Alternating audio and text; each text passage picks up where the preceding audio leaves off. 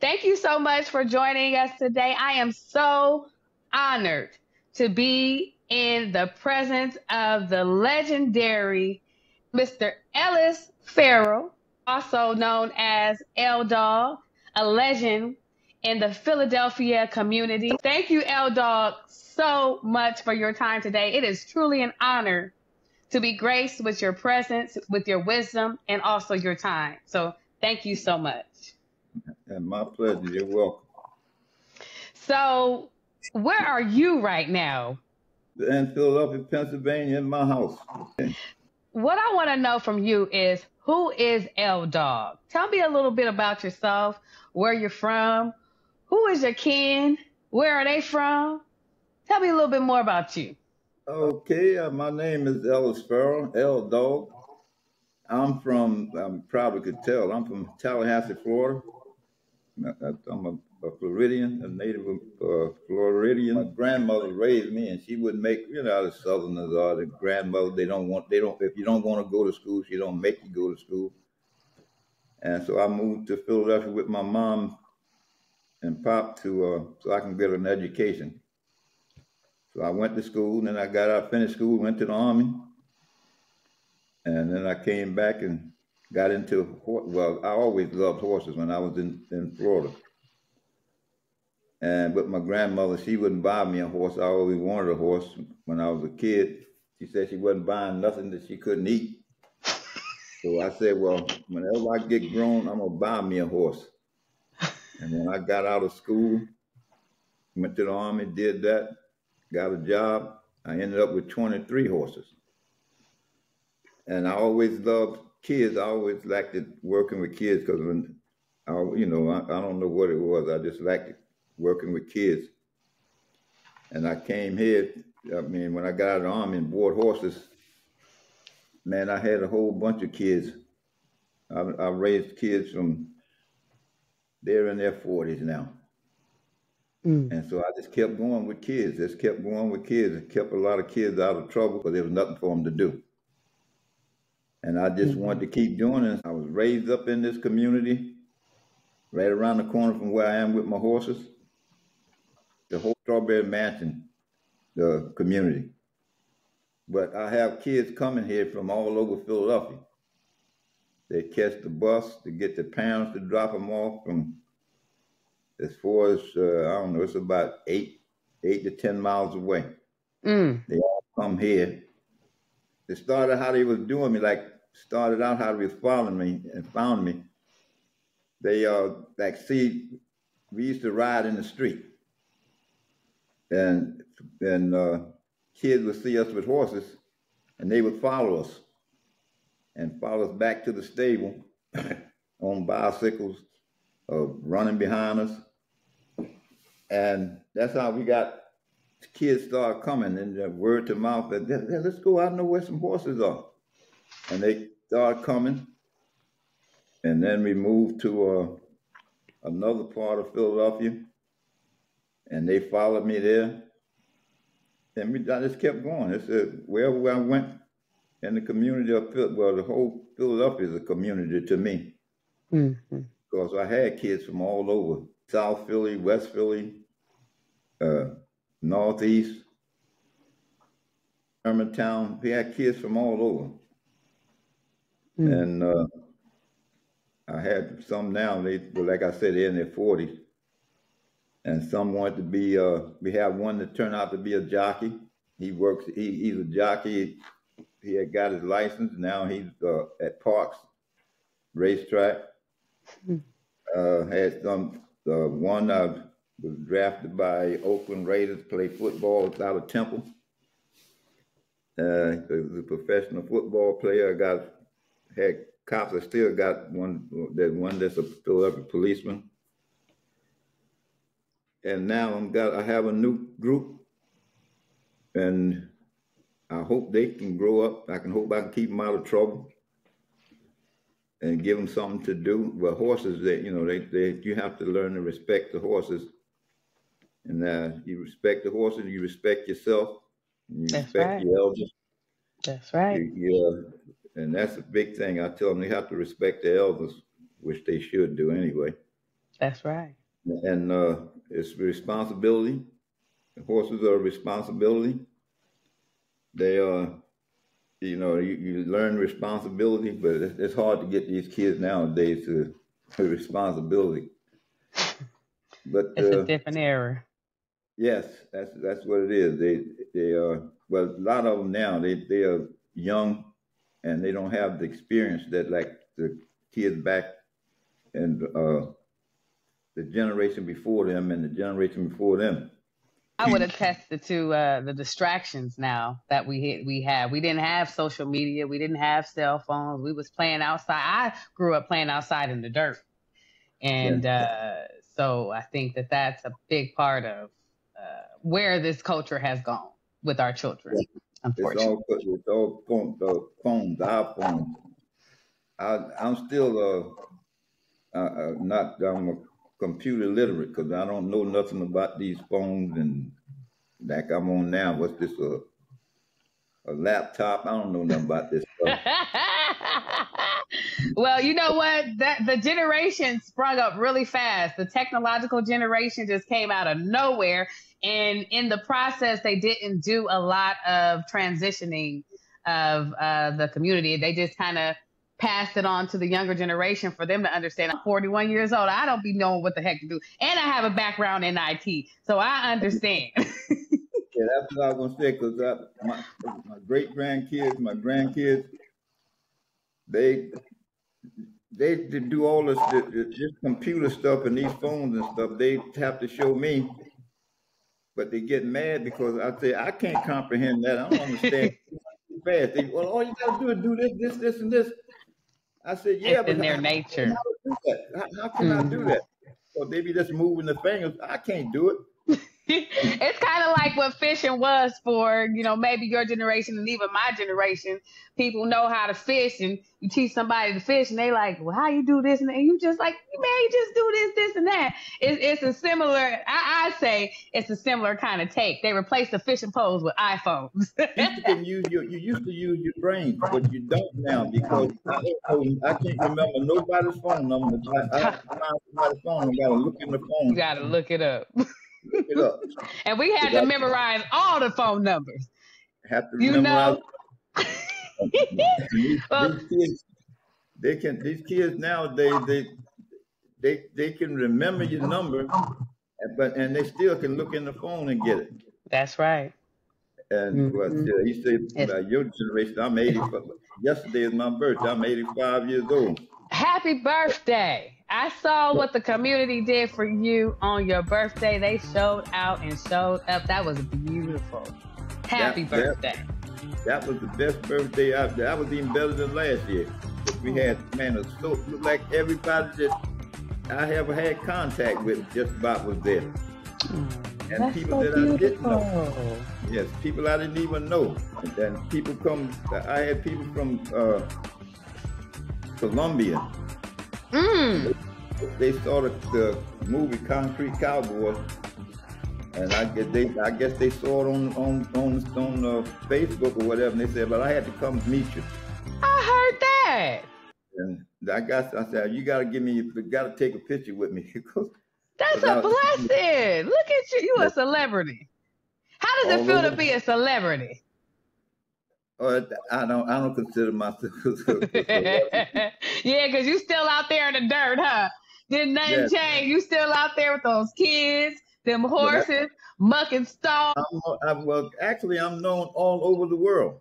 Mm. I, I people from all over the world, especially the United States. People, I, people come here from every, just about every state in the union to come to meet me. I've had people come from Australia, now Colombia, uh, France, uh, Korea, I think it was South Korea, and Japan. They got they, they even put the they had a book out. We had a book out called Fletcher Street. They mm-hmm. put it out in, in Japanese. What? And, and they, they put it out in Japanese, and well, the book now you can't. It's, it's, I think it's out of print. It was hard to get. We made mm. what's that? Uh, Barnes and Noble. Mm-hmm. I think we made the the number one on Barnes and Noble. Yeah, they need to re-release that. I have a few questions for you. You know, just to more, just to learn more about you, um, because yeah, the a lot of people do know you, but there are so many others who haven't really heard your story. I wanted to go back to your family.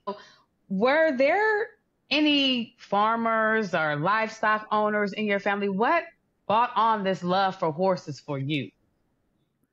Well, in, in Tallahassee, Florida, we grew everything we ate. Mm. And we had to have horses and oxen pulling the, that, that, that cultivate the land. We uh, used, uh, my grandmother had an ox that she uh, used pull the wagon. And uh, that's, that was our transportation up and down the highway. My grandmother used to go and work, do uh, housework for, for the people, white people down in, in uh, Florida. And that's what we did. But we, well, it's not farming, but we grew, everybody, my family, immediate family lived back in, in, a, in one big circle, right? And, and we, uh, everybody had a garden. We planted uh, potatoes, sweet potatoes, in Florida, you call them sweet. They call them sweet potatoes. What we call, we just said potatoes. That, that meant the sweet potato. and if you said Irish potato, that meant a white potato. We like put it in the ground, like in in the uh, we like when we harvested in the summer. We dig a hole and put the potatoes in the in the ground. We had a smokehouse. We killed pigs and smoked our meats. Uh, we had uh, sugarcane grinders. Everybody would bring their at, at certain times of year. Everybody bring their sugar canes to one place, and they had uh, horses or oxen, mules go in a circle, pulling and grinding the, the cane, and we cook it. And they be have a big that that's a big thing we did down there back then. Have a great big kettle and make make the syrup. Uh, then we uh, had to, like we we did cornmeal. We would grow corn, and then we take it to the everybody get together and take it to the the, the uh, corn the corn mill where they grind it up to meal, and you know they make it. The, the guy that, that does the that own the, the machine, he gets some, and then we gets it. That's how we paid for it. Mm. And I guess he sold his, put it in the bags, and sold it so much a pound. Mm.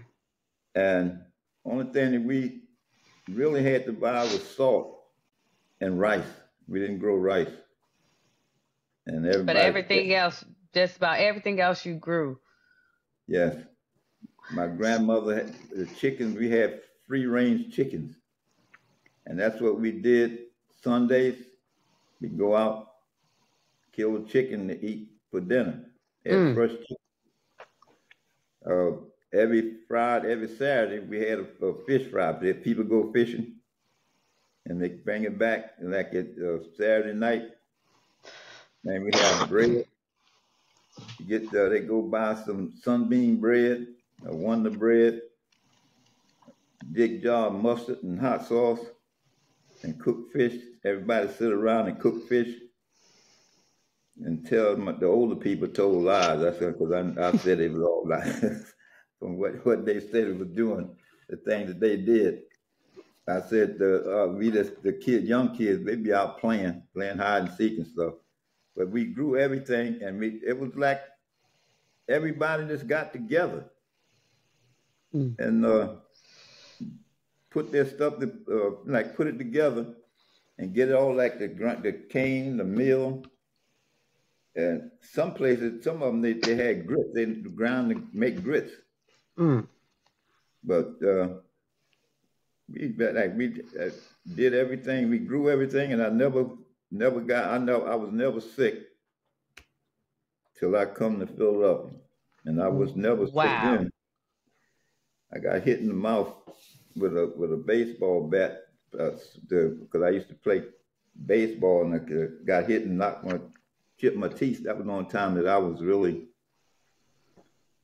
you know, had to cry because it was hurting. Mm. But other than that, and right now I'm still still moving. Did did anyone carry on those traditions from your family? Farming. No, no. Okay. Now everything they go to the store to buy. I wow. Went, I, I, went down there and uh, they had some people had little gardens, but it, it, was never never nothing. They they got now down in Tallahassee. It's all malls and stuff now.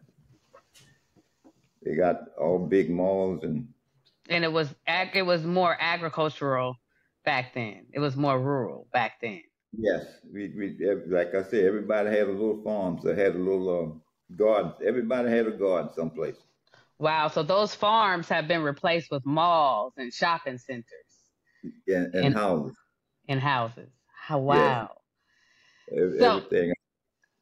Don't even is... recognize it now when I go down there. I haven't been wow. since, since 20, 2021, 2001. I, the last time I, that's when I retired. That's the last time I was down there. Mm, wow.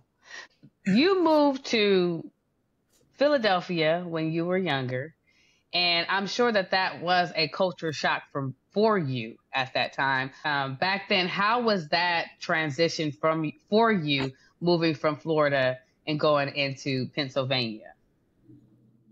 Uh, it was uh, the moving from Florida. When I left there, I was I was uh, I, I, think I was 14, 15, and I swore I would never go back down there. Now I can't get back down. I I wanted to move back down there, but I didn't have the down there. I didn't have the amount of kids that seemed to have problems. I, I don't know. I just even when mm. I was in the army, the weakest person I would always stick up for. Mm. And uh, then when that just when I came to Philadelphia, I was always a loner. I, I wasn't around a lot of people. And then I had my cousins. When I go to school, I, you know, I went to school with them. So then I just always, I don't know, I just always wanted to help the, the little guy, the, the weak guy. Mm. And that's, uh, you know, down there was real quiet. When I come to Philadelphia, man, it was like in Florida, when the sun go down, we had to, we had to go in the house. We was in the bed. I come up here, man, we sit out 12, 1 o'clock in, at night. Mm. Just a lot of noise.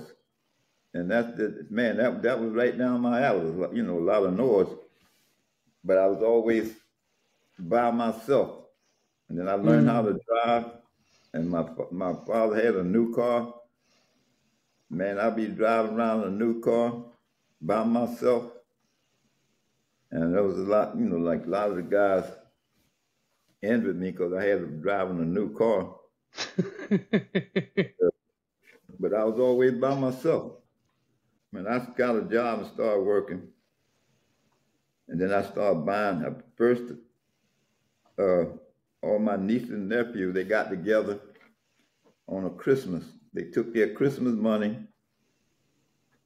and I put what they didn't have. We bought our first pony. I used to bring her from. I would be out in the, in the suburbs where I had her at, and I bring her back on the weekends and stuff. I bring them bring it, bring his pony down to Philadelphia.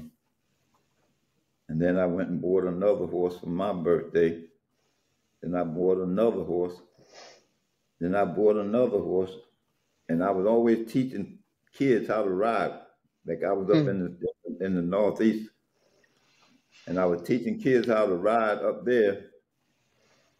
Uh, it was mostly the white kids because I was in the white area and I was helping. Mm.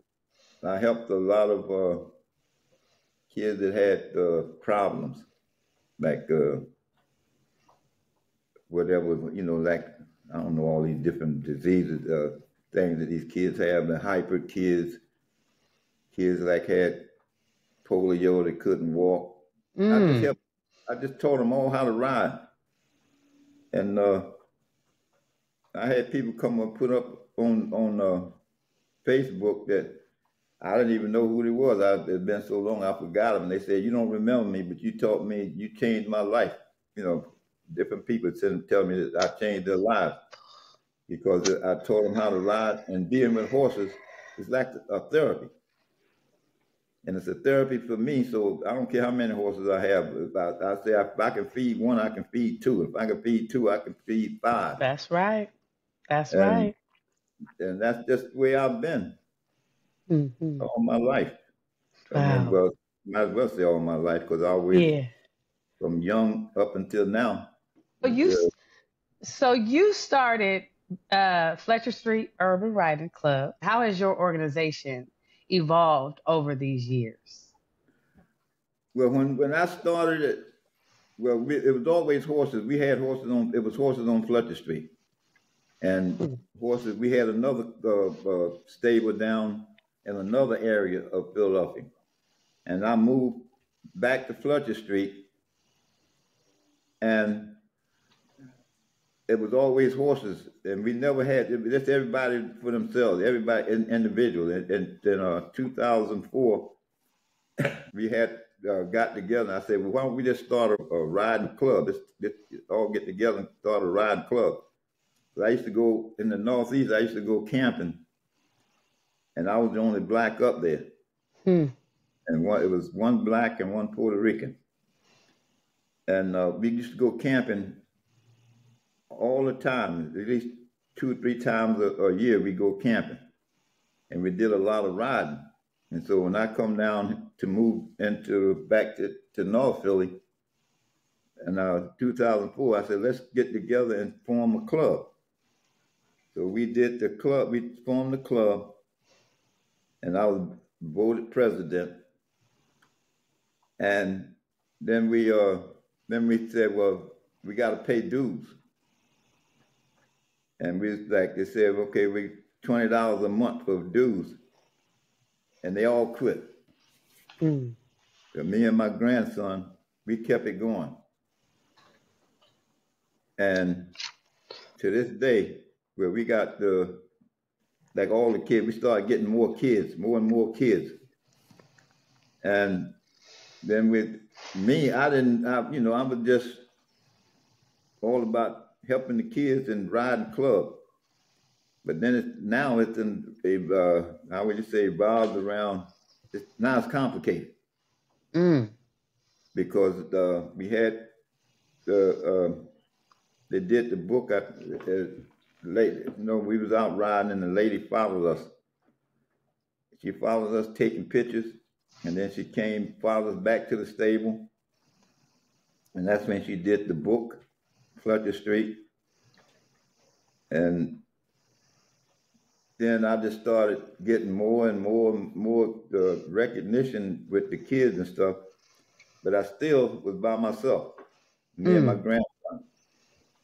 And and then some of the guys that was in the club when we first started, because we had started out with 54 people, mm. but none of them wanted to pay dues. So they all, all but a couple quit. Really, all of them quit and was left on me. And so I kept it going.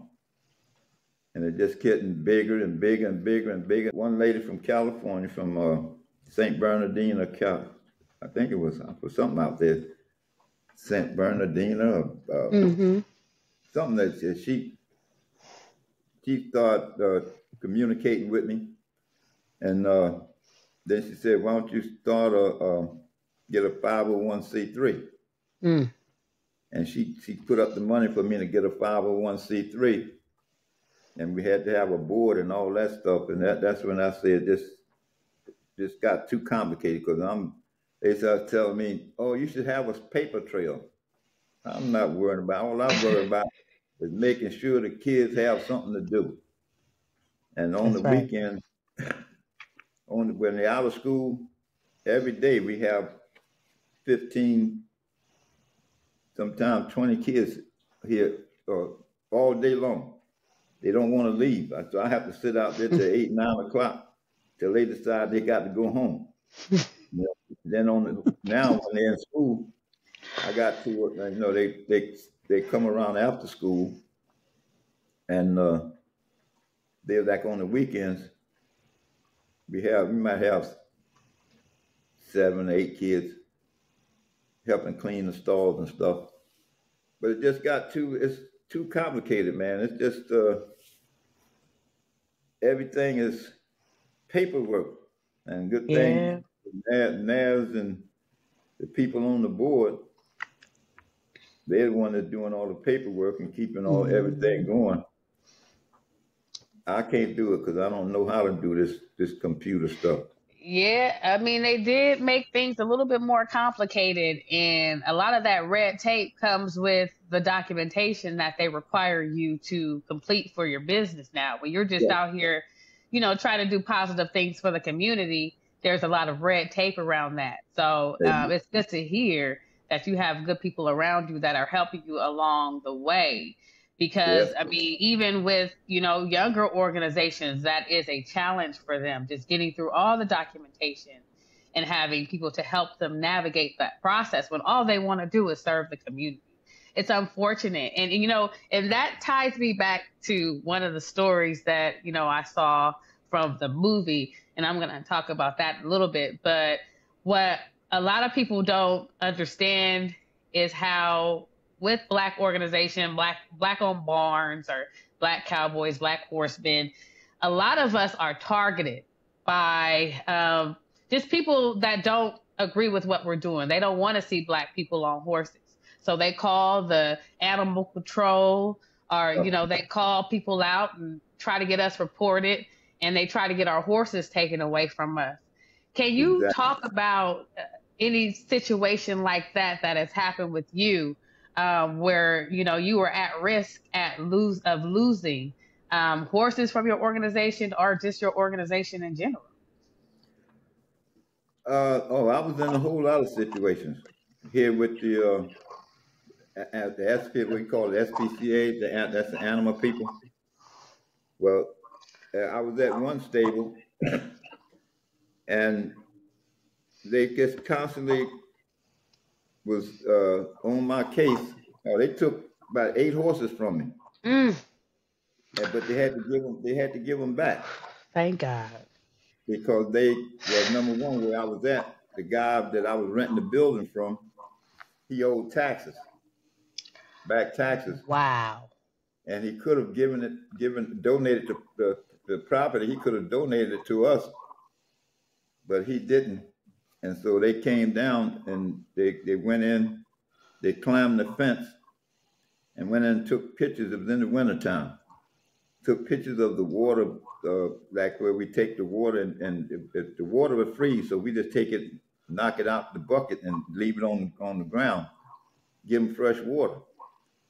And they went in one evening, but they didn't they didn't uh, they didn't put it where they had fresh water.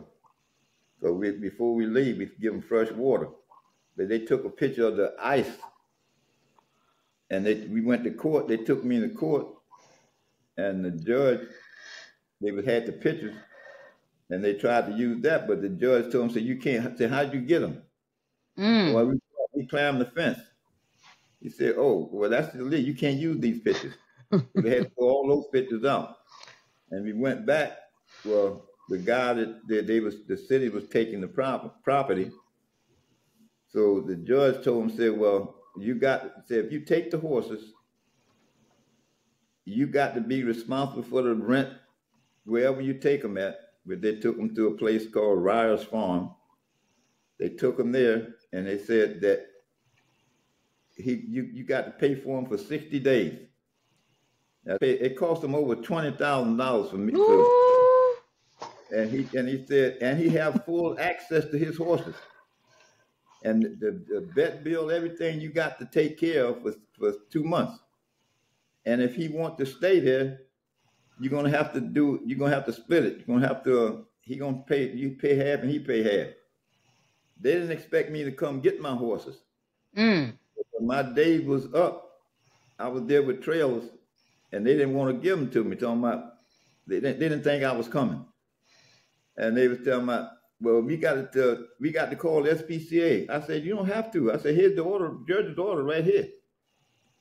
And they said, okay, now they called me, tell me, well, where you going to take me? I said, I don't know. I might take have some put down. I might take some to Jersey. I might, might, no, I don't know where I'm going to do it. But they had to give me every one of them back.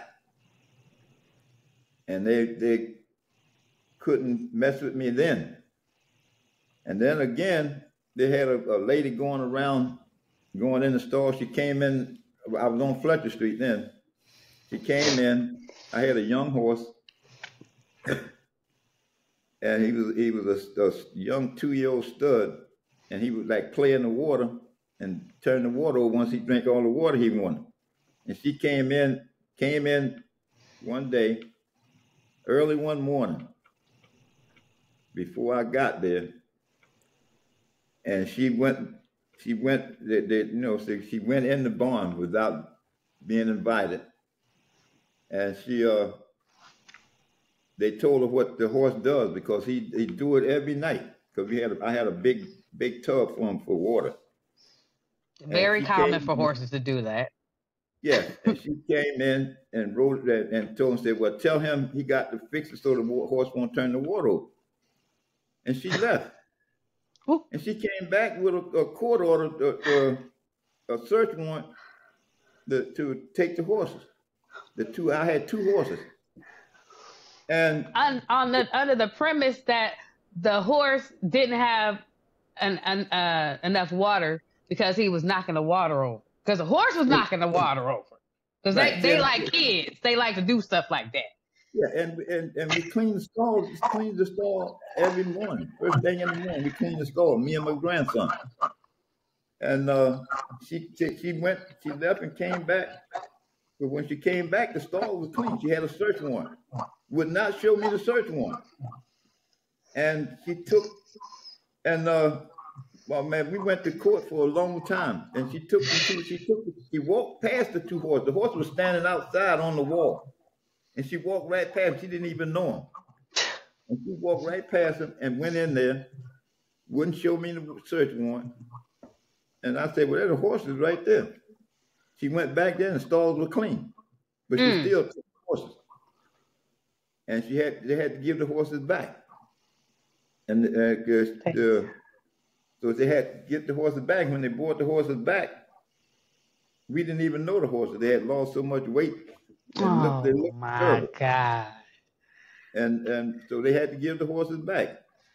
So we took in. Uh, they took a pony back. Took a pony from us, and uh, they had took the pony up and the vet check and said there's nothing wrong with these horses. You gotta get, you gotta give them back. You gotta get a pony back.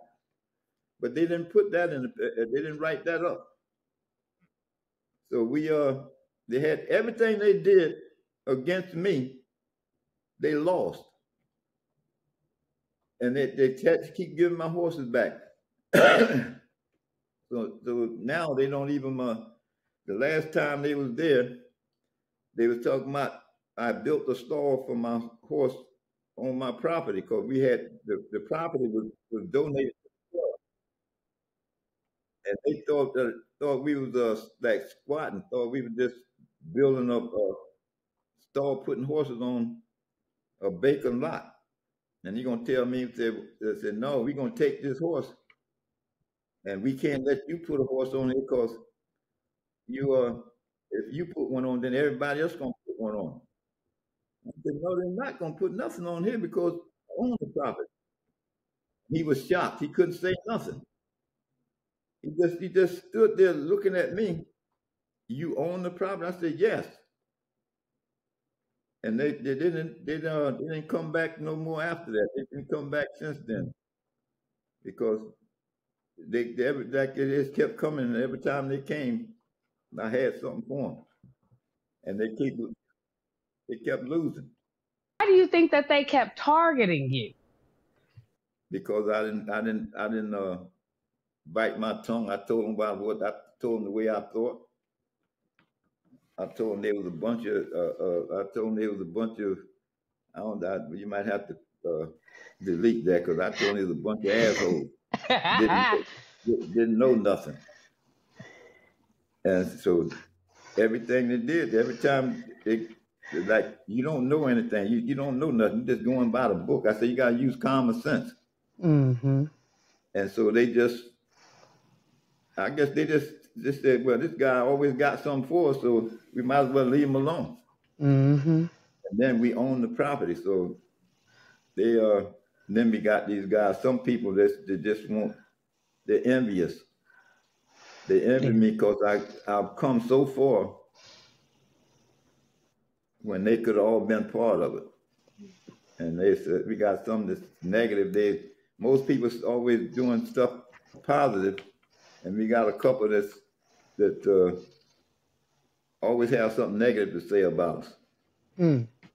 But we keep going. We keep uh, we keep growing, and and the more it is that the, you know, the more we go, the better the better uh, things are, and we got some that uh, like we have Halloween. We have we have a community. Uh, have the yard full of kids.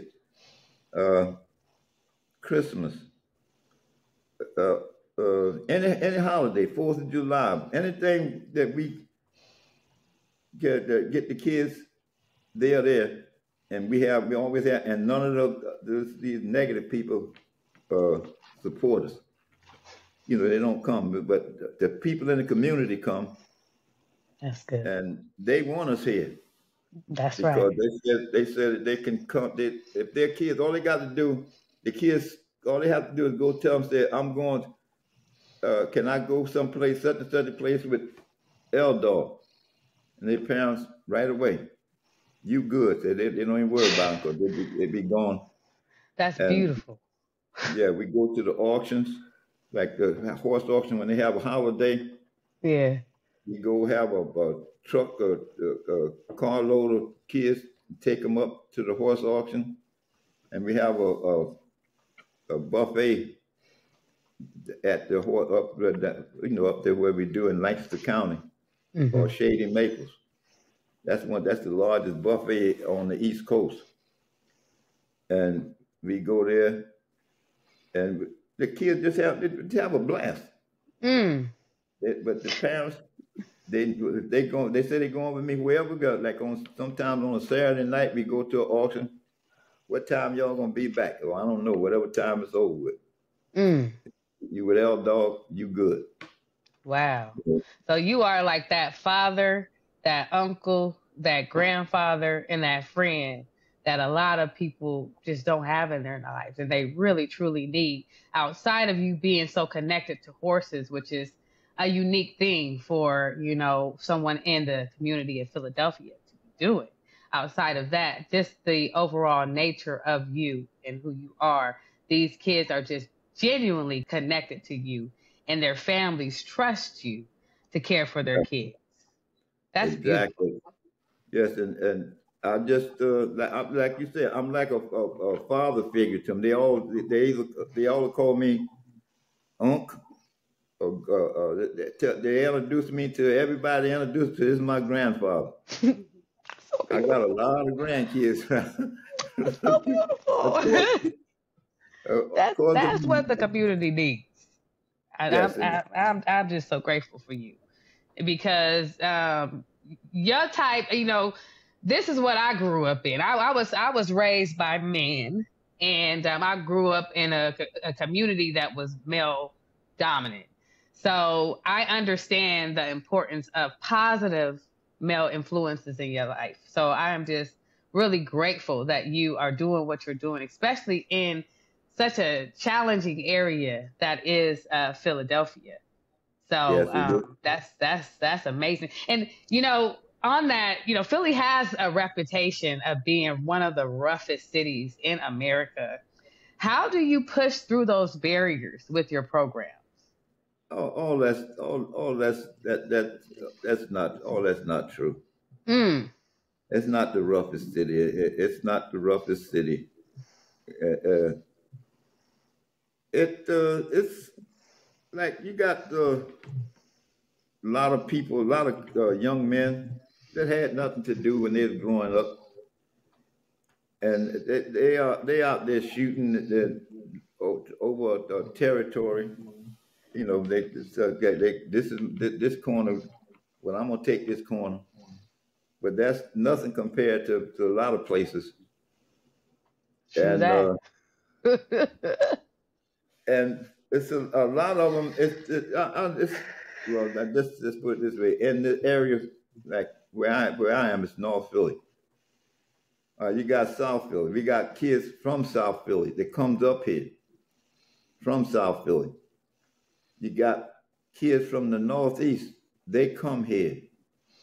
Uh, they, they got a lot of, of different the sections of Philadelphia. They they are here, come here to Fletcher Street. Mm. You got the guys that grew up the generation before this one, and then the generation before that one, they all come back. Like they're here on the on on during the week, they stop, come past the check and sit and, talk about old old days. Talk about the olden days because we, you know, I used to buy a lot of horses, and we used to do, do a lot of uh, racing. And we all, always bought rescued thoroughbreds. Might as well say rescued them because I buy them, they'd be down, and uh, I know where they're going. They're going to the glue factory. They're going to the glue factory. And I would buy them. The kids, they always come to me because I was driving truck one time. I was doing all right, and we'd go back. We go to, to the auction, and they'd come running to me. Come on, look at this horse over here. That I'm gonna show you a horse. And I said, well, get the number and, and, and bid on it when it come through. Now they get that horse and they get it home, get it back to the stable, and they take care of it. And after a couple weeks, everybody, oh, my horse is faster than yours. No, my horse is faster than yours. All right, let's go. We go to the park, and they line up and run. And this is what this is what I did. That's how I ended up with 23 horses. I had mm. a bunch of kids and I always picked good horses. And all the kids, there was a lot of stables at one time in Philadelphia. And they would always, all of them come at me, and then most of them got beat. Because I always, where I train my horses, they tell me I'm doing it wrong, but yet still I'm winning. Come on. And they, uh, you know, it's always somebody got something to say. yeah, well, they be talking with the talking trash with the kids because I don't believe in talking. I, I, I, I heard that. They like they, they be bragging about this horse and that horse and who did what, but yet still at the end of the day, they always come and tell me, you know, El-Dog, you know how to pick good horses. It's just that I pick them, the horses I get, I just take them and, and, and feed them and make sure the kids treat them right and love them. And, and yeah, because we get horses, they don't like uh, get them from they, they they sell them from the track. They don't even mm-hmm. they don't know how abuse. To, yeah, they don't know how they don't eat apple. They're not fed apples and carrots and stuff like that. They're not treated nice. Mm-hmm. But these mm-hmm. kids, they end up making them eat. You know, giving them apples and carrots and stuff. I saved one horse that my vet you probably never heard of Devon Horse Show. That's a big horse show here in, in, in uh, Pennsylvania. And uh, that's where all the rich people go. Okay. They're, they're jumping and stuff. They're hunter, hunter and jumping okay. stuff. Okay. The English side of things. Yeah, and I hold, I had a, I saved the horse.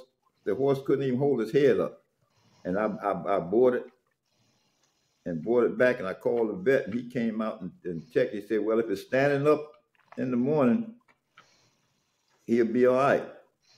And come that morning, he was the, the horse was still standing. He gave him shots and stuff. And we had a 40 pound bag of carrots. That horse ate the whole bag of carrots. And that's what we named the horse. We, we named them carrots. And, and the vet said, if you ever want it, if you ever want to sell this horse, let me know. Because this is mm. what my, my wife want like a horse like this and I sold him the horse. And he went to Devon Horse Show, and he went. He won. He won I guess he was winning because I never heard. He, he, you know, he was happy with his wife was happy with him. Mm-hmm. But let's just show you we saved him from you know saved him from one, and he made it to Devon Horse Show. That's that's he made it. That was big time. Wow. And, and, but that just show you, I buy them when they real down.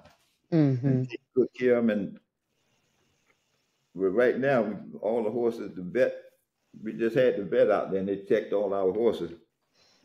We I think we got 16. And they said, said we feed them. They got they need. He said, all need to go on diet. They, they said they're too fat. they get fat. Yeah, I know they well fed. All them kids. That's all the kids want to do is feed a horse, and then the horse just eat it up. we had the people, well, the people in the community. Yeah, They'll bring a bag, they go get a bag of apples and get bring a drop off a bag of apples, a bag of carrots, Yeah, and they come there and give it to the kids to feed the horses. Mm, that's And beautiful. and uh, before where, where, where we are now, they took our turnout where we had to turn the horses out. They put up apartment buildings in there now. oh, talk about But it. yeah, we had when we had that before they built in it. We have a big fence, like a for a four block square, and we had everybody. They lined up, be lined up back in the afternoons, in the evening when the kids get out of school. Cars lined up, and the horses started going to the fence because they know what they're going to get. They've been fed apples and carrots. The cops, they, the cops bring they bring carrots and stuff they feed them. And that's what we them horses every day they would head to the to the other side of the fence because they hmm. know what's coming, the apples and carrots. And it's just just like that what you said, like it's really changed compared but now we got kids now, they, they're not too uh horse uh they, don't- they, they don't they're not that good horse sense. They don't have the, that horse sense because they're all young Mm-hmm. and uh, there's back back in the day there wasn't as many cars. Now that there's a million cars on the streets, and Mm-hmm. they care nothing of horses or bicycles. They will hit them and keep They going, will. Mm-hmm. getting up. And uh, we just had a horse. he went that that he went viral. He went he, he worldwide known worldwide. We called ninety five. When drivers saw the horse on the highway, they called police. State police and Philadelphia police quickly I, responded. I don't know if he, well, they should have been on out there too. He made the what was that Facebook, what Instagram, he made everything Running- running down ninety five. He, we boarded him Monday and he got out Monday night.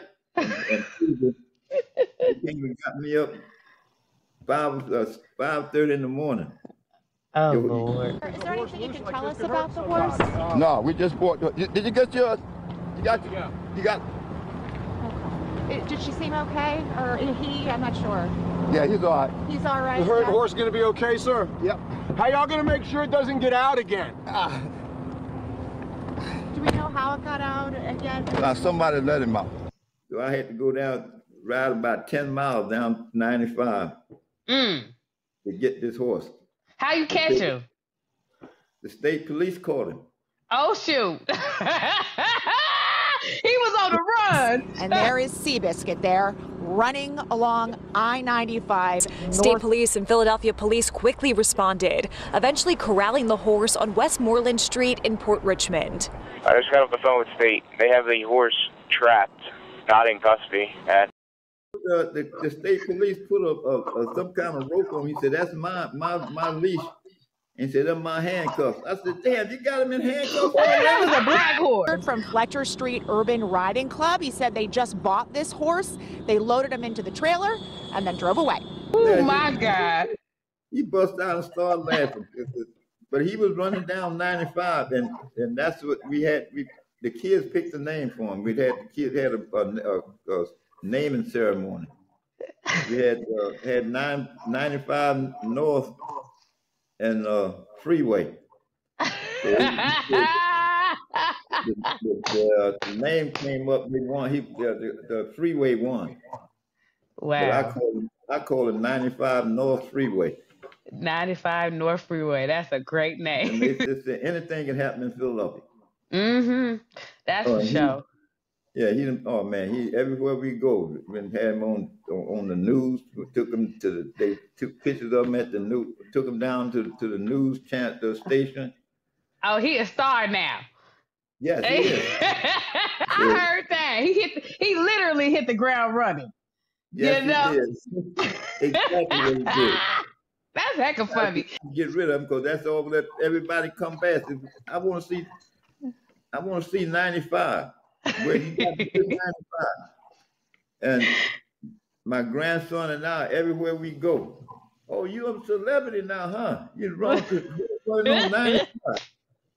And my grandson, they they they call him ninety five. Every time somebody see him, they say, "Oh, you celebrity? You on ninety five with the horse, huh?" But, uh, wow.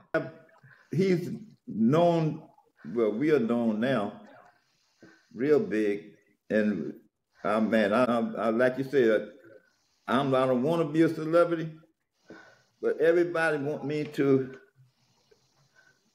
like just to come I'm going to different places speaking all they want to know about that 95 horse I, I that is in- too funny. yeah, I walk in, they, they, they start talking, yeah, that's that's the one that got ni- the 95, the horse on 95. Said, yeah, that's me. Go to the horse Huh. Yeah, go to You bought him at a horse auction. Yeah, he bought him Monday. Wow. that- he, he bought him that Monday and he got out Monday Can, night. can you share how much you paid for him at that auction? They paid 1500 Fifteen hundred dollars. Now Yeah. I know that that horse worth it. How what kind of horse is it? He called, It's called a Dutch harness horse. Mm. Oh, he been, I'm good. Oh, people been wanting to buy him. I know they want to buy him. We can't get rid of him. 'cause He a star. Yeah, he's he's a part of the stable now. That's it. That's that's your baby now. Yeah, Yeah, yeah. y'all y'all hold on to that little star right there. That's a, that's a heck of a story. I did want to talk to you about Concrete Cowboys. Now, the movie Concrete Cowboys was based on your organization along with other cowboys in the Philly uh, area. Is that correct? No, that, that that's uh, it's uh, well, it's a long story. Okay. Uh, a guy, I think he's from California.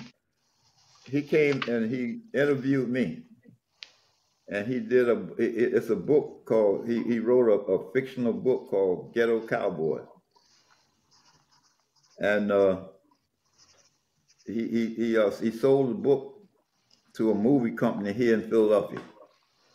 And when they changed it, you know, they changed it around. They did like they changed it to Concrete Cowboys, and they had uh, some people in it from the Philadelphia area, and with uh, what's his name, Evis Elber, how you call him? Idris.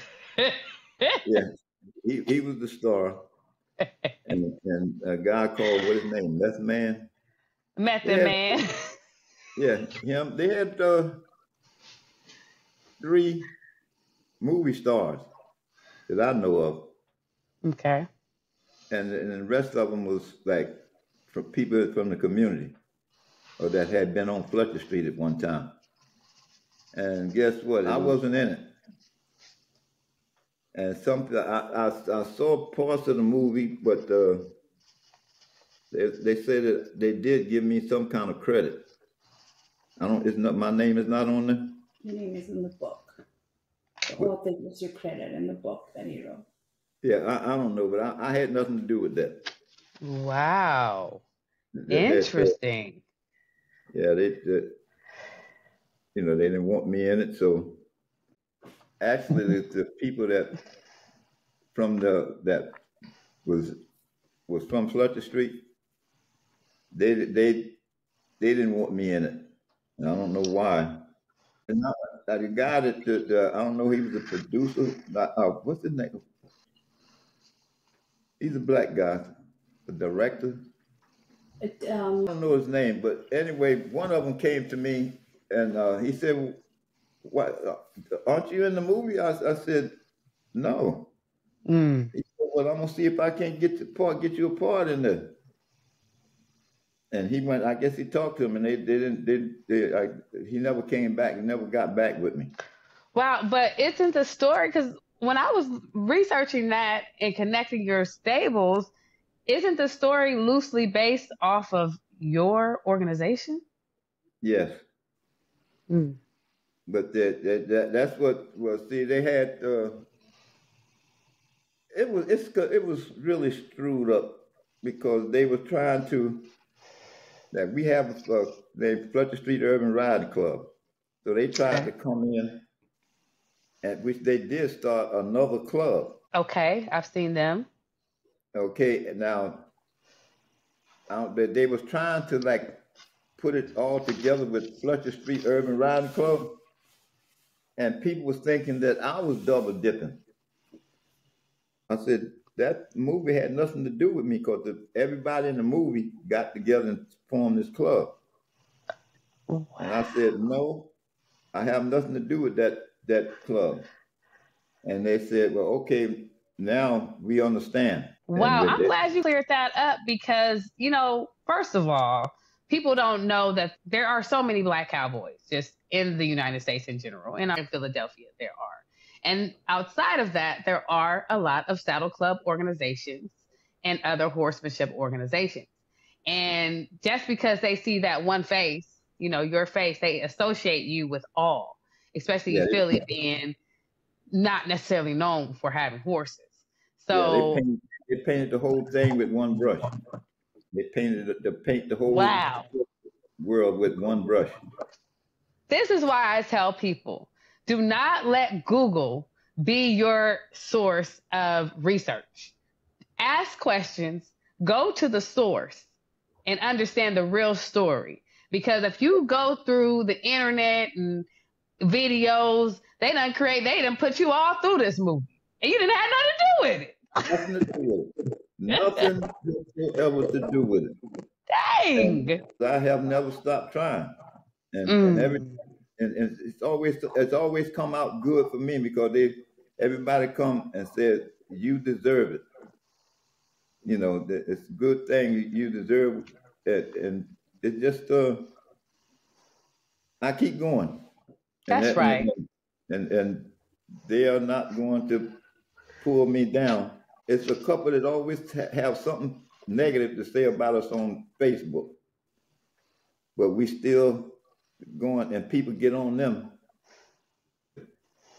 There's two two different clubs, three with my club, and then there's two more that's using Fletcher Street name, all trying to get that recognition because of Fletcher Street Urban Riding Club. Wow. Interesting. So the real story comes out. And this yes. is, you know, one of the most unfortunate things about this culture and this this community is the separation amongst us and the competitive nature when we all, you know, well, I would assume the reason behind us starting these organizations is for the community. But, you know, some people look at it for monetary gain. A lot of people look at it for recognition and, and to be a celebrity. But, um, you know, of course, the reason why you have been unscathed, I mean, I'm, yeah, I know you've had your challenges, but the reason why you're still here is because purely you are doing this for the community. Yes, I don't want to be no. I'm not. I'm. I'm, I'm not looking for a monetary gain. I'm not looking for for no recognition, no nothing. All I want to do is help the community, help the kids in the community. But I help mm. anybody. I, I, don't care who it is.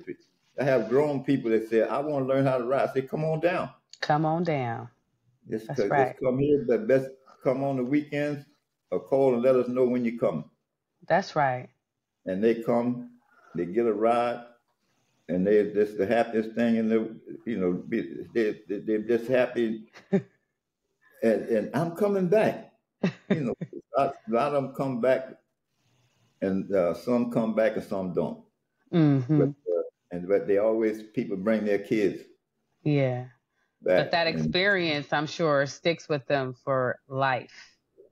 You know. Yes, it does. It's, uh, uh, yeah, because like this Sunday when uh, they had my celebration, I had, it was people that had once came past the stable, and they saw that on uh, social media. They they were there Mm.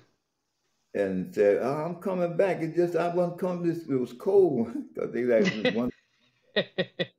They, It's they, cold. They, they, they came out there. They were there, and I man, that, that's when I said that was the best day. That was the best I could. That was- that was great. Oh, that's so And- beautiful. I didn't even know they had put it. I didn't. I, I didn't see it because, I, like I said, I this social media thing. I don't. Uh, Yeah, you you be outside. You be, but let me ask you this. So on that note, how do you feel about photographers and major corporations that capitalize off of our culture and aren't necessarily compensating individuals for it, uh, or even giving the proper credit? They that's well the whole thing is from day from back in the day. Uh, we we were the, the the headliners. We were the spotlight. We the, the blacks were the, all they did everything, but they didn't get credit for it. They they uh, you know like the, one of the biggest races, the Kentucky Derby. It was black jockeys Mm. and they started making money, and you very seldom you, you, you hardly ever see a black jockey now. Mm-hmm. Mm-hmm. You hardly ever see a black jockey, Mm-hmm. and, and because they- they're making money. They all these jockeys, they, they, the uh, uh, Filipinos, Puerto Ricans, Mexicans, everything but blacks, and they're making millions. All these jockeys, they, they're millionaires because they're making all that money out of with the, uh, you know, they the jockeys they they they uh they get a percentage of the uh whatever the the thing you know like these the, the Kentucky Derby here that's that's million a couple million dollars. That's money. Yeah, that's big money. Yeah, they're getting money from it. Kentucky Derby, the Belmont, the Preakness, all that, all that's big money, and they're getting a percentage of it. And so that's how they become millionaires. But the uh, and we can't we can't uh, we can't even uh, get into the thing because they you know there are no black jockeys, very few, Mm. and very few you got uh, very few uh, uh, women Mm-hmm. jockeys, let alone being black. Mm-hmm. But uh, it's it's it's a it's a money thing, and and we're not getting recognition for it. And like uh, we did, like they come down, like we did a a, a commercial. Uh, I don't know what what three years ago. About three years ago, we did. They ca- came here and did a commercial. Where do you thought it? Where you think it ended up at? On the Super Bowl. It came make it. We had just did it, and it came up on that that, that it was on the Super Bowl, and we we got nothing. Whoa, whoa, whoa, whoa, whoa. Oh, They come here, get all the interviews, and do all these movie shoots and uh, uh, whatever, and give up a couple of hours, and that's I it. was, going, I was wondering, do they pay you? Do they compensate you for your time? That not that much. Not that, but uh, like one of one of the one of the commercials they did, I think they gave them a. You know, they, they might they might give you five hundred dollars, a thousand dollars, and get the you sign get the people to sign up sign the thing, release what they call release thing. And it sounds good. It sounds good to somebody in the hood. You know, you see a little check, five hundred dollars, thousand dollars. Oh, okay, that's cool. Until you realize and you see it on the Super Bowl and understand how much money that they're making off of you. Exactly. That's the slap in the face. Yes, that, that, that I've had. They did one. Uh, I've had a couple of them from like uh, overseas. They did one called. Uh, they did a, a, a movie. I mean, a, a musical video, and it went. Uh, I think it was what was it? Lots of love, some kind of love. This this British band and they won. They got all kind of awards in their country for this this this uh, commercial or, or video, whatever it was. And all they did, it probably cost. I, bet it probably cost them three thousand dollars Mm. because they get a guy five hundred dollars, something like that. And they was happy and talk. They were talking, man. They be talking about that. that, that, that I mean, talking about this money that they got, Yeah. And then they see where they got all these this video come on the thing, and when you see it come on, on the, they show it on on TV and stuff. That money, that that video is making money, and you only got mm-hmm. five hundred dollars for it. Mm-hmm. For me, I'm, I'm I, me. I don't. I'm not getting nothing. I just, just like I, just, I don't know. I just, as long as I'm, I'm doing something for the community and helping these kids, keeping them out of trouble.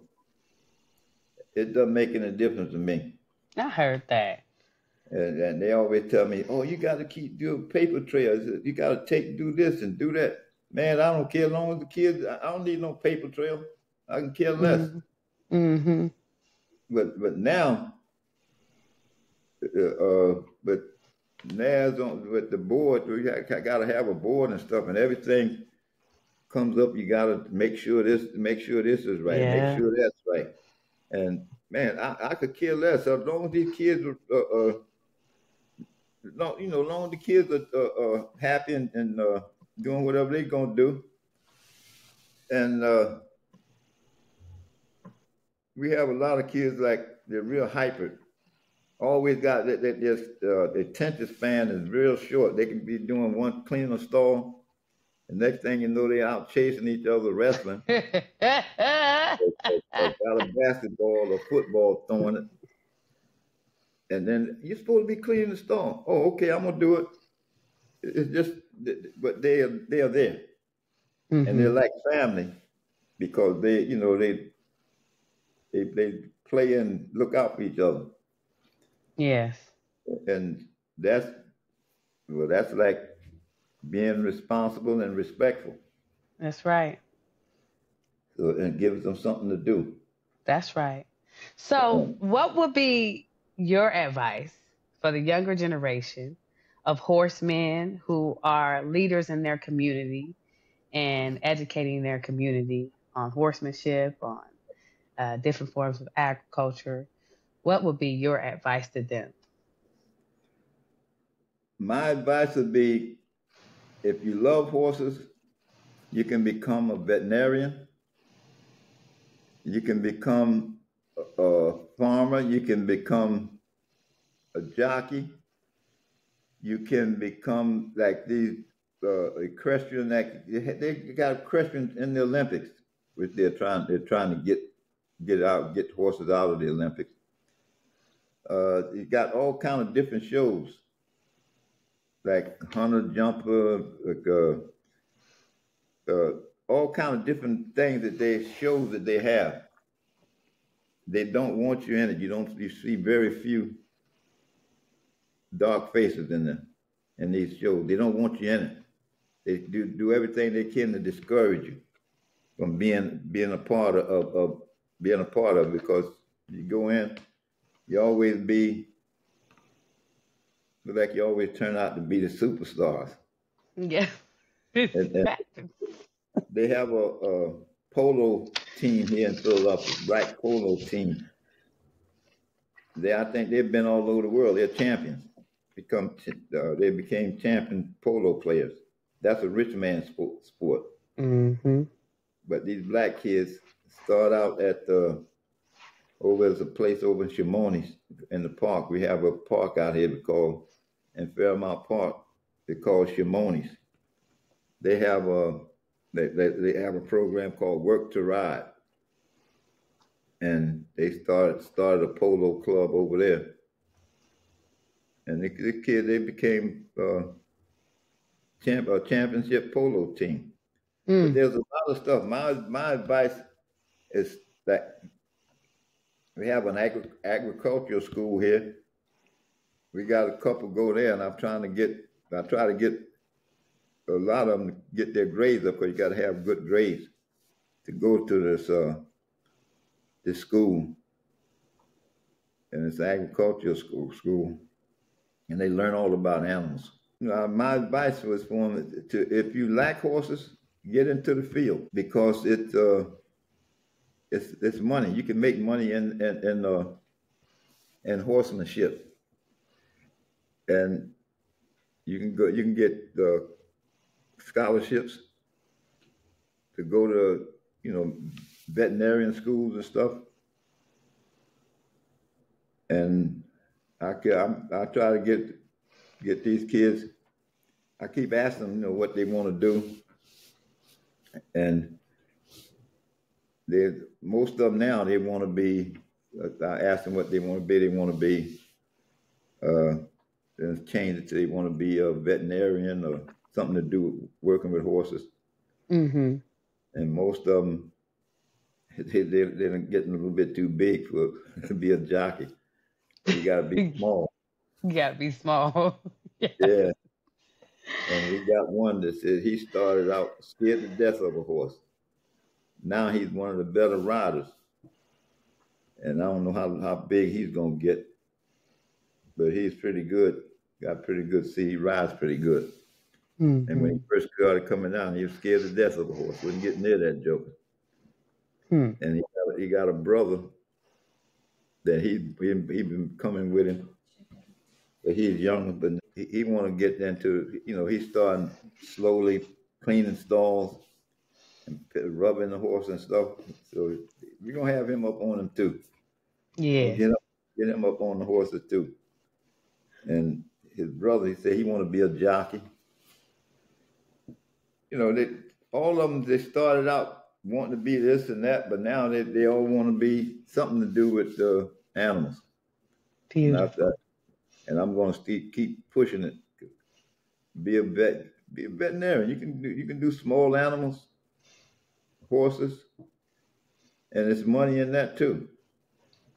That's So I'm right. trying to, I'm, I'm trying to get them to, to do, you know, get into that. Especially when you are traveling that they make they make a killing. Yeah. Come out, check on my horse, and just look at it, and it's hundred and seventy dollars. Like, what? What did you do? Yeah, it's more than that. They, they come and look at that joke and they charge they charge you up. They send you a bill later, huh? You like, wait a wait a minute. You just walked around the horse for about five seconds, and you mean to tell me? Yeah, yeah, it's yeah. it's money in it, all right. Yeah, and, and we it, it, we got the well we got a uh, a vet that he's um, I mean I might as well say our vet uh resident vet because everything that goes on with that he, comes in and give him the shots he, he keeps the uh, he's the, the our horse is under him and some happen to one he, he, we call him like they get a cut or something he said well send me a picture of it and that's one thing you do it. And he said, "Oh no." He look at it and said, "No, all you got to do is do this and do that, and, and just clean it." And uh, he, he'll tell us how to do it, and we do that, and it's, that saves us money because you know he don't have to come out to do it or and show us how to do it. We can he just give it to us on the phone. Take hmm it. Or if something is, you know, if something real wrong, he'll send somebody out. He'll send a vet out. And uh, so we cool about that. No, he know our horses are taking good care of. He, cause he know he takes good care of them. Bernie Mac, he said uh, he told a joke. He was saying that you had uh, a white guy and a Chinese guy and a black guy, and the black guy they they the, the they said Jesus Christ was down the, the road, and they said the black guy walked up and said, "I want to go to heaven." Say, how do I get to uh, how do I get in heaven? And the white guy they told him said, God is right down there. Say, go down there, and uh, if you if you ask him something that he don't know, uh, you can get in." And and he, went down and, and God said, open the, open the door and let him in. So the, the white guy and the, the, the, the other guy said, what did you say to him? for him to let you in. He said, I asked him, when is black people gonna stick together? That's how God said, that's I guess he said God didn't know, so he let him go to heaven. He let him go he went to heaven because he said he couldn't answer when black people gonna start sticking together. Mm. And Mm. that's what we don't have that many. We got we have a lot of black, but they are all of them are old now. They most of them, I, I think I'm there's two less older than me. That's uh, still around. Yeah. But we all should get together. We have a strong thing here in Philadelphia, but it's so many different things, and, and everybody, nobody wants us to come around their their their, their places. They got they got uh, this one stable uh, in the park. They have it out there in the park, and they think that we want to come somebody from Fletcher. Oh, they don't want nobody from Fletcher Street over there. Why would anybody want, from Fletcher Street want to go there? So crazy. And they they don't participate in nothing we have, but we always supporting them. Mm, and people keep on come- supporting. Yeah, that, that, that, that, keep on because it's because it's people like me and it's people who are in the community that watch that you know um, and i appreciate and really value these organizations that just keep going despite the negative aspects of the the culture you know one of the reasons why i started the directory the black cowboy directory was to really highlight the different organizations and saddle clubs um, and have and help people to find them. Um, what I noticed being in Georgia, being in Atlanta, Georgia, I was in a saddle club, and a lot of the similar things happened. It was like the Bloods and the Crips. If you left this saddle club, went to that saddle club, y'all can't talk no more. Or if you went to go get lessons from this this person in this saddle club, it's an issue in your saddle club. I'm just like, why we just can't? You didn't hear Rodney King?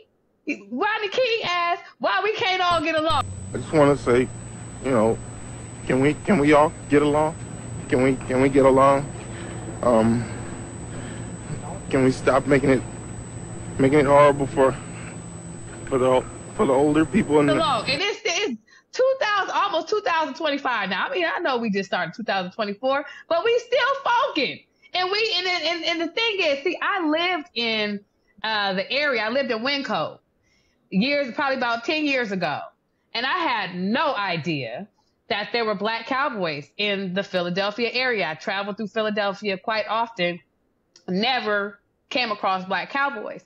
So when I learned that you guys were there, and now I'm learning about the disconnect between the different organizations, it really saddens me because our community is so small and it just makes no sense as to why we just can't just get together and just have fun.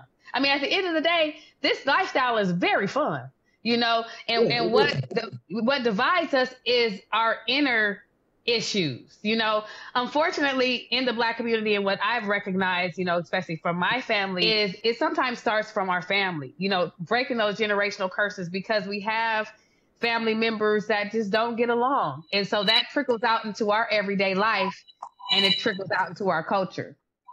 So, Yeah. you know, it's unfortunate to hear.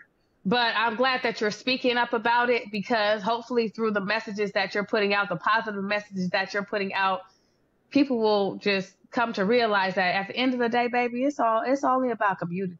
You know, it's not about none of that other stuff. It's only about the uh, uplifting our community and just coming together as community members and having fun.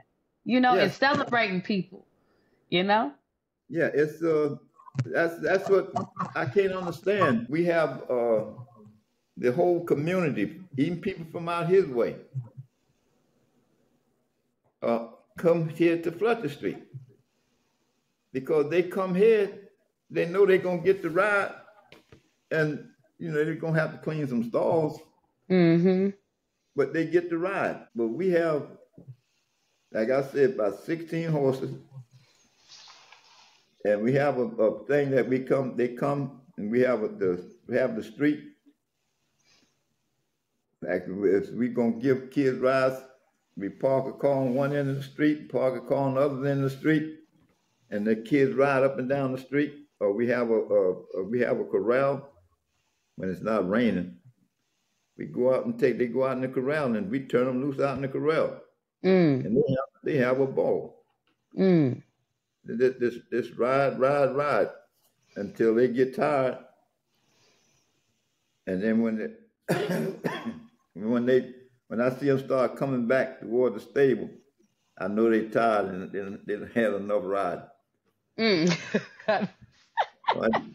So See, that's what them- the community needs. That's that's so important.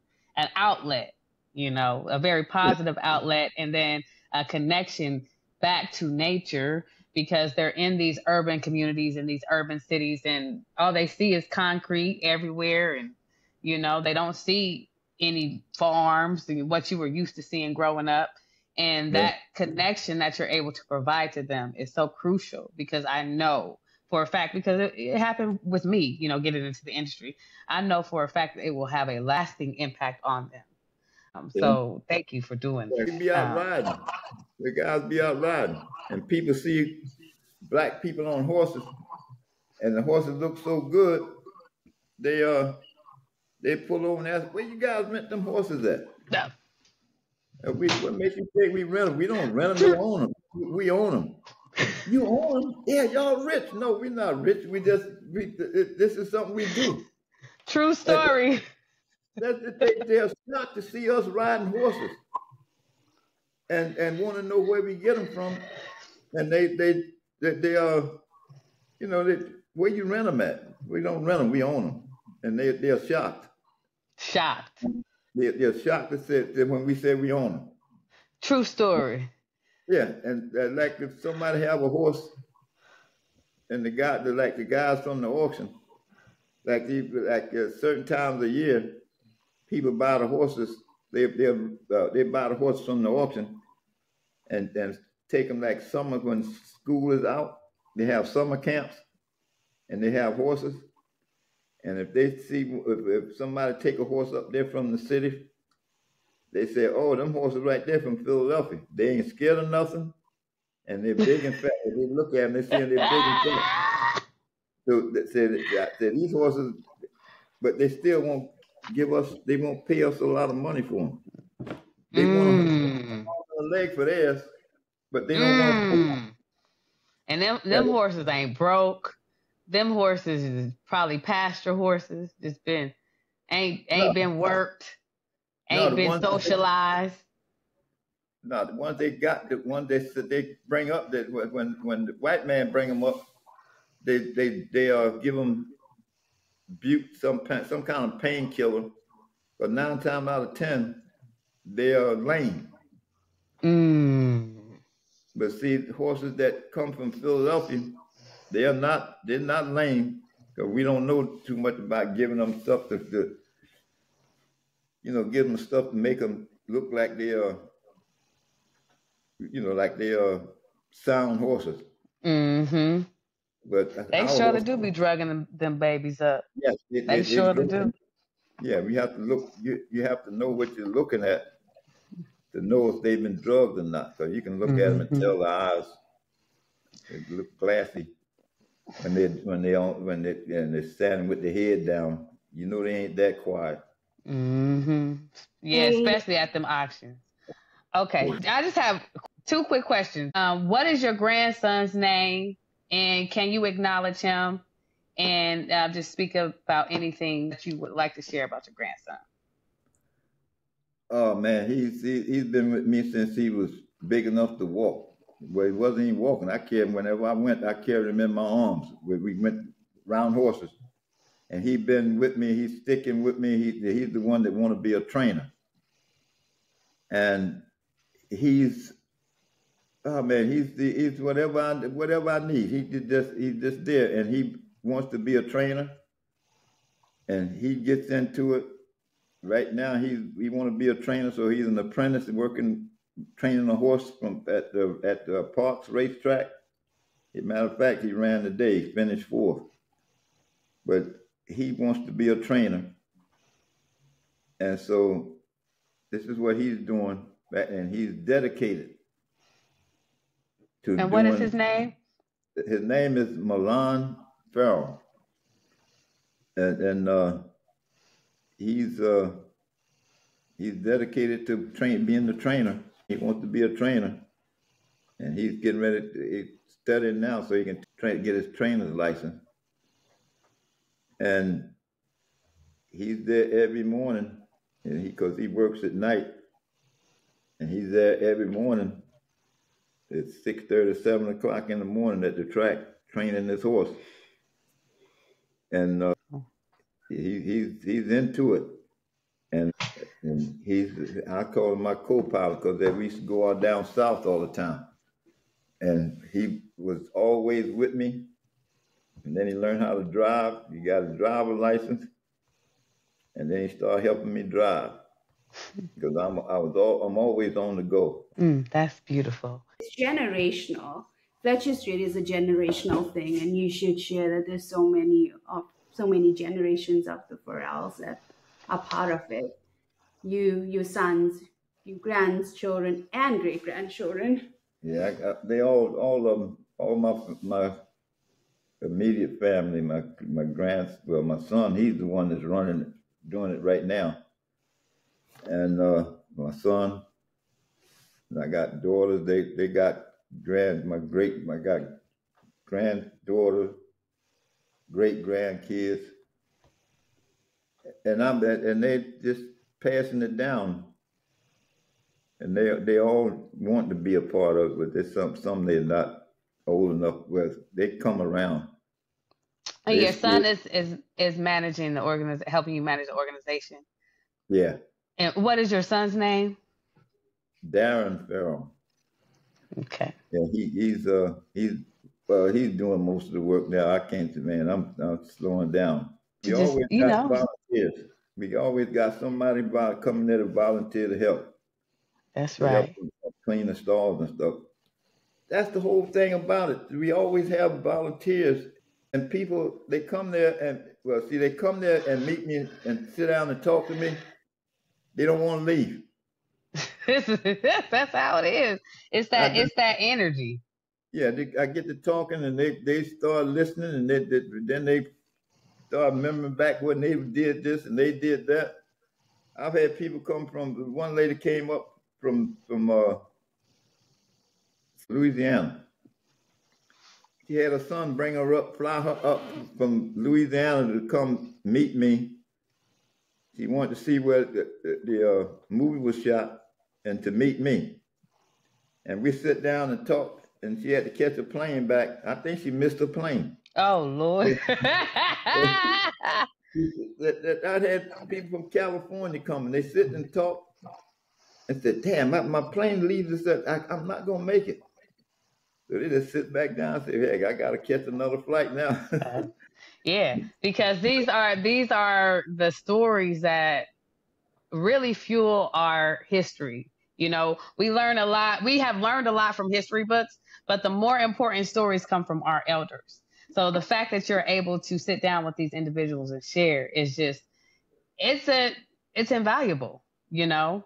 Well, let me ask you one last thing. This is a, um, kind of a silly question.